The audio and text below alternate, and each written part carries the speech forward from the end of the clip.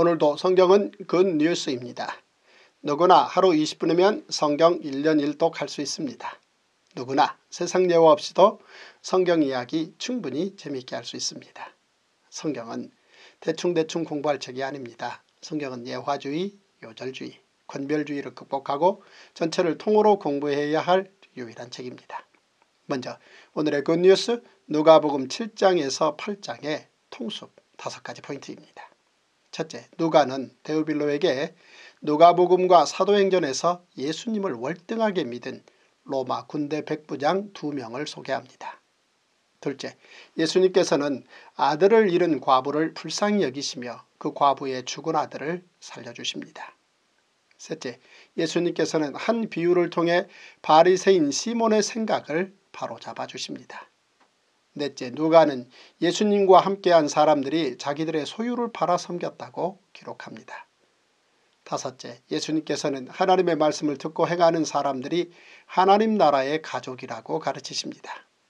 성경은 소리내어 읽을 만한 유일한 책입니다.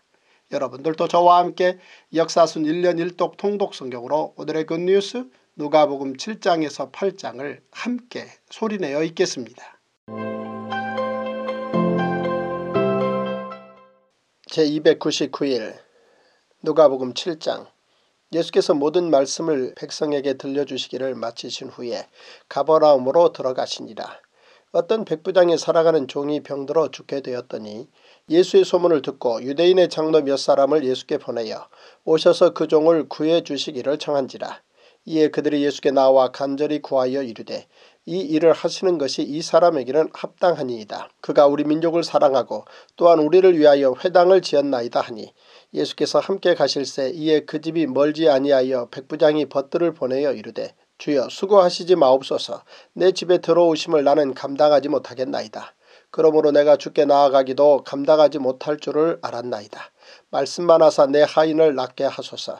나도 남의 수하에 든 사람이요 내 아래에도 병사가 있으니 이더러 가라 하면 가고 저더러 오라 하면 오고 내 정도로 이것을 하라 하면 하나이다. 예수께서 들으시고 그를 놀랍게 여겨 돌이켜서 따르는 무리에게 이르시되 내가 너희에게 이르노니 이스라엘 중에서도 이만한 믿음은 만나보지 못하였노라 하시더라. 보내었던 사람들이 집으로 돌아가 보매 종이 이미 나아 있었더라. 그 후에 예수께서 나인이란 성으로 가실새 제자와 많은 무리가 동행하더니 성문에 가까이 이르실 때에 사람들이 한 죽은 자를 메고 나오니 이는 한 어머니의 독자요 그의 어머니는 과부라. 그 성에 많은 사람도 그와 함께 나오거늘 주께서 과부를 보시고 불쌍히 여기사 울지 말라 하시고 가까이 가서 그 관에 손을 대시니 맨자들이 서는지라 예수께서 이르시되 청년아 내가 내게 말하노니 일어나라 하심에 죽었던 자가 일어나 앉고 말도 하거늘 예수께서 그를 어머니에게 주시니 모든 사람이 두려워하며 하나님께 영광을 돌려 이르되 큰 선지자가 우리 가운데 일어나셨다 하고 또 하나님께서 자기 백성을 돌보셨다 하더라. 예수께 대한 이 소문이 온 유대와 사방에 두루 퍼지니라.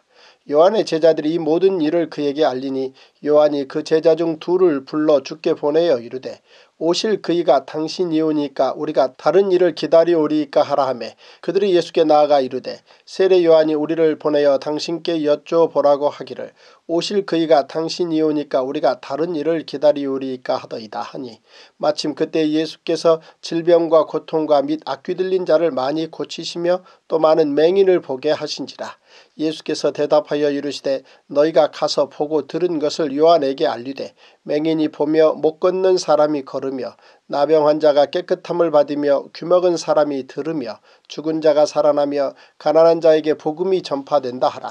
누구든지 나로 말미암아 실족하지 아니하는 자는 복이 있도다 하시니라. 요한이 보낸 자가 떠난 후에 예수께서 무리에게 요한에 대하여 말씀하시되 너희가 무엇을 보려고 광야에 나갔더냐 바람에 흔들리는 갈대냐 그러면 너희가 무엇을 보려고 나갔더냐 부드러운 옷 입은 사람이냐? 보라 화려한 옷을 입고 사치하게 지내는 자는 왕궁에 있느니라. 그러면 너희가 무엇을 보려고 나갔더냐? 선지자냐? 옳다. 내가 너희에게 이르노니 선지자보다도 훌륭한 자니라. 기록된 바 보라 내가 내 사자를 내 앞에 보내노니 그가 내 앞에서 내 길을 준비하리라. 한 것이 이 사람에 대한 말씀이다 내가 너희에게 말하노니 여자가 낳은 자 중에 요한보다 큰 자가 없도다 그러나 하나님의 나라에서는 극히 작은 자라도 그보다 크니라 하시니 모든 백성과 세리들은 이미 요한의 세례를 받은지라 이 말씀을 듣고 하나님을 의롭다 하되 바리새인과 율법교사들은 그의 세례를 받지 아니하므로 그들 자신을 위한 하나님의 뜻을 저버리니라.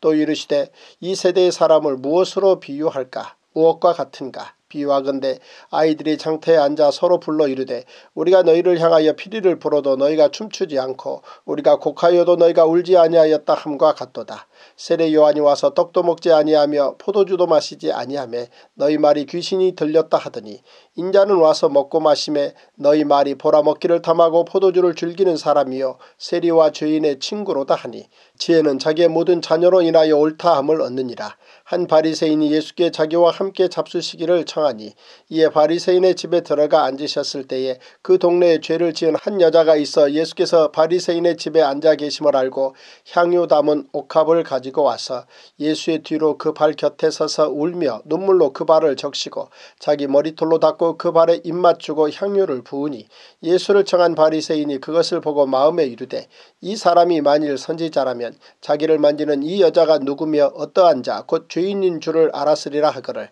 예수께서 대답하여 이르시되 시모나 내가 내게 이를 말이 있다 하시니 그가 이르되 선생님 말씀하소서. 이르시되 빚주는 사람에게 빚진 자가 둘이 있어 하나는 500데나리온을 졌고 하나는 50데나리온을 졌는데 갚을 것이 없으므로 둘 다 탕감하여 주었으니 둘 중에 누가 그를 더 사랑하겠느냐? 시몬이 대답하여 이르되 내 생각에는 많이 탕감함을 받은 자니이다. 이르시되 내 판단이 옳다 하시고 그 여자를 돌아보시며 시몬에게 이르시되 이 여자를 보느냐? 내가 내 집에 들어올 때 너는 내게 발 씻을 물도 주지 아니하였으되 이 여자는 눈물로 내 발을 적시고 그 머리털로 닦았으며 너는 내게 입맞추지 아니하였으되 그는 내가 들어올 때로부터 내 발에 입맞추기를 그치지 아니하였으며 너는 내 머리에 감남유도 붓지 아니하였으되 그는 향유를 내 발에 부었느니라 이러므로 내가 내게 말하노니 그의 많은 죄가 사하여졌도다. 이는 그의 사랑함이 많음이라. 사함을 받은 일이 적은 자는 적게 사랑하느니라. 이에 여자에게 이르시되 내 죄 사함을 받았느니라 하시니 함께 앉아있는 자들이 속으로 말하되 이가 누구이기에 죄도 사하는가 하더라. 예수께서 여자에게 이르시되 내 믿음이 너를 구원하였으니 평안히 가라 하시니라. 누가복음 8장 그 후에 예수께서 각 성과 마을에 두루 다니시며 하나님의 나라를 선포하시며 그 복음을 전하실세 열두 제자가 함께하였고 또한 악귀를 쫓아내심과 병 고침을 받은 어떤 여자들 곧 일곱 귀신이 나간 자 막달라인이라 하는 마리아와 헤롯의 청지기 구사의 아내 요한나와 수산나와 다른 여러 여자가 함께하여 자기들의 소유로 그들을 섬기더라. 각 동네 사람들이 예수께로 나와 큰 무리를 이루니 예수께서 비유로 말씀하시되 씨를 뿌리는 자가 그 씨를 뿌리러 나가서 뿌릴새 더러는 길가에 떨어짐에 밟히며 공중의 새들이 먹어버렸고 더러는 바위 위에 떨어짐에 싹이 났다가 습기가 없으므로 말랐고 더러는 가시떨기 속에 떨어짐에 가시가 함께 자라서 기운을 막았고 더러는 좋은 땅에 떨어짐에 나서 백배의 결실을 하였느니라. 이 말씀을 하시고 외치시되 들을 귀 있는 자는 들을지어다. 제자들이 이 비유의 뜻을 모르니 이르시되 하나님 나라의 비밀을 아는 것이 너희에게는 허락되었으나 다른 사람에게는 비유로 하나니 이는 그들로 보아도 보지 못하고 들어도 깨닫지 못하게 하려 함이라. 이 비유는 이러하니라. 씨는 하나님의 말씀이요 길가에 있다는 것은 말씀을 들은 자니 이에 마귀가 가서 그들이 믿어 구원을 얻지 못하게 하려고 말씀을 그 마음에서 빼앗는 것이요 바위에 있다는 것은 말씀을 들을 때에 기쁨으로 받으나 뿌리가 없어 잠깐 믿다가 시련을 당할 때 배반하는 자요 가시떨기에 떨어졌다는 것은 말씀을 들은 자이나 지내는 중 이생의 염려와 재물과 향락의 기운이 막혀 온전히 결실하지 못하는 자요 좋은 땅에 있다는 것은 착하고 좋은 마음으로 말씀을 듣고 지키어 인내로 결실하는 자니라.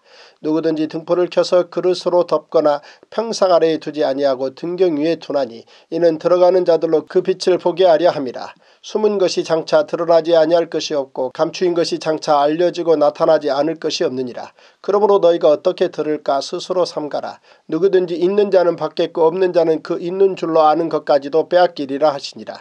예수의 어머니와 그 동생들이 왔으나 무리로 인하여 가까이 하지 못하니 어떤 이가 알리되 당신의 어머니와 동생들이 당신을 보려고 밖에 서 있나이다. 예수께서 대답하여 이르시되 내 어머니와 내 동생들은 곧 하나님의 말씀을 듣고 행하는 이 사람들이라 하시니라. 하루는 제자들과 함께 배에 오르사 그들에게 이르시되 호수 저편으로 건너가자 하심에 이에 떠나 행선할 때에 예수께서 잠이 드셨더니 마침 광풍이 호수로 내리침에 배에 물이 가득하게 되어 위태한지라 제자들이 나와 깨워 이르되 주여 주여 우리가 죽겠나이다 한데 예수께서 잠을 깨사 바람과 물결을 꾸짖으시니 이에 그쳐 잔잔하여 지더라 제자들에게 이르시되 너희 믿음이 어디 있느냐 하시니 그들이 두려워하고 놀랍게 여겨 서로 말하되 그가 누구이기에 바람과 물을 명함에 순종하는가 하더라. 그들이 갈릴리 맞은편 가라사인의 땅에 이르러 예수께서 육지에 내리심에 그 도시 사람으로서 귀신 들린 자 하나가 예수를 만나니 그 사람은 오래 옷을 입지 아니하며 집에 거하지도 아니하고 무덤 사이에 거하는 자라. 예수를 보고 부르짖으며 그 앞에 엎드려 큰 소리로 불러 이르되 지극히 높으신 하나님의 아들 예수여 당신이 나와 무슨 상관이 있나이까 당신께 구하노니 나를 괴롭게 하지 마옵소서 하니 이는 예수께서 이미 더러운 귀신을 명하사 그 사람에게서 나오라 하셨습니다. 귀신이 가끔 그 사람을 붙잡음으로 그를 쇠사슬과 고랑에 매여 지켰으되 그 맨 것을 끊고 귀신에게 몰려 광야로 나갔더라. 예수께서 내 이름이 무엇이냐 물으신 즉 이르되 군대라 하니 이는 많은 귀신이 들렸습니다. 무적행으로 들어가라 하지 마시기를 간구하더니 마침 그곳에 많은 돼지떼가 산에서 먹고 있는지라 귀신들이 그 돼지에게로 들어가게 허락하심을 간구하니 이에 허락하시니 귀신들이 그 사람에게서 나와 돼지에게로 들어가니 그때가 비탈로 내리다라 호수에 들어가 몰사하거늘 치던 자들이 그 이루어진 일을 보고 도망하여 성내와 마을에 알리니 사람들이 그 이루어진 일을 보러 나와서 예수께 이르러 귀신 나간 사람이 옷을 입고 정신이 온전하여 예수의 발치에 앉아 있는 것을 보고 두려워 하거늘 귀신 들렸던 자가 어떻게 구원받았는지를 본 자들이 그들에게 이름해 가라사인의 땅 근방 모든 백성이 크게 두려워하여 예수께 떠나가시기를 구하더라. 예수께서 배에 올라 돌아가실새 귀신 나간 사람이 함께 있기를 구하였으나 예수께서 그를 보내시며 이르시되 집으로 돌아가 하나님이 내게 어떻게 큰 일을 행하셨는지를 말하라 하시니 그가 가서 예수께서 자기에게 어떻게 큰 일을 행하셨는지를 온 성내에 전파하니라. 예수께서 돌아오심에 무리가 환영하니 이는 다 기다렸음이러라.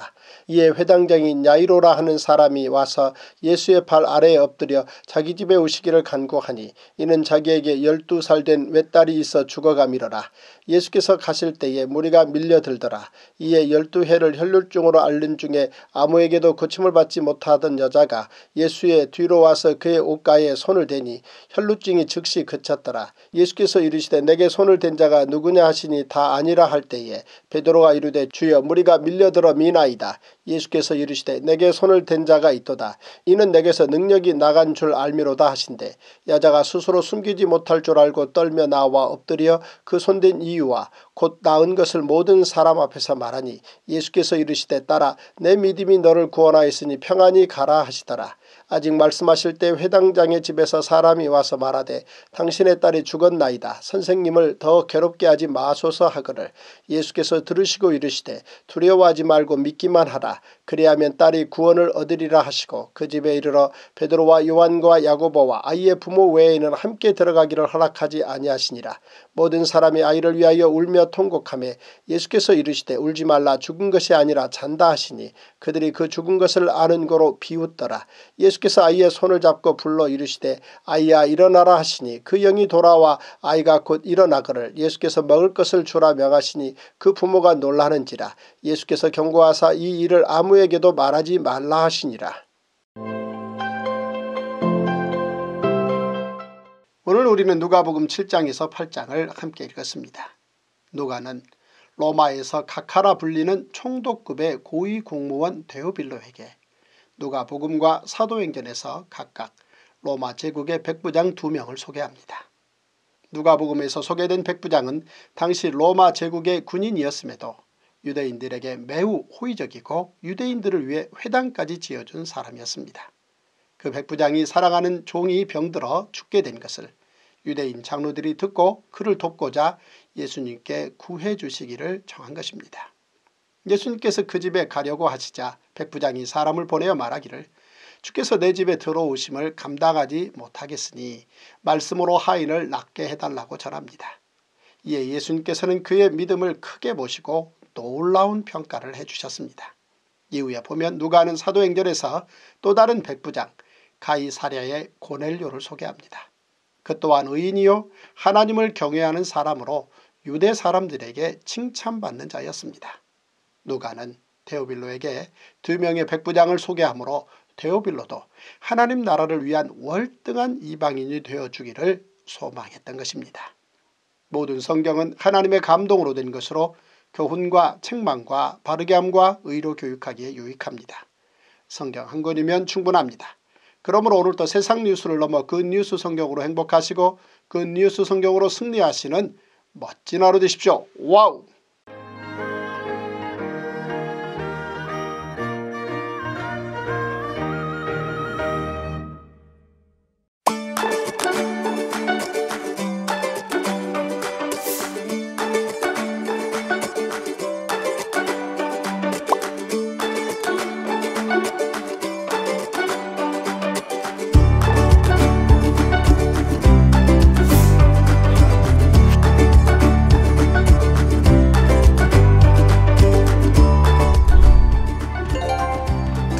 종말까지의 시간 이야기, 약속의 땅에서부터 땅끝까지의 공간 이야기, 그리고 하나님께 순종한 사람, 그리고 불순종한 사람들의 인간 이야기가 시간, 인간, 공간이 통으로 다 이해가 되더라고요. 성경의 개인 이야기는 단순히 그 개인 이야기에 머물지 않고 그 가정에 속한 또 나라 이야기에 연결된다는 것을 강의를 통해서 쉽게 이렇게 이해가 되어지는데 많이 도움이 되었습니다. 자, 그러면 속죄죄는 무엇입니까? 그 다음 용서를 받고 그 다음에 회복이 되는 이런 놀라운 제사가 바로 이 속죄제인데요.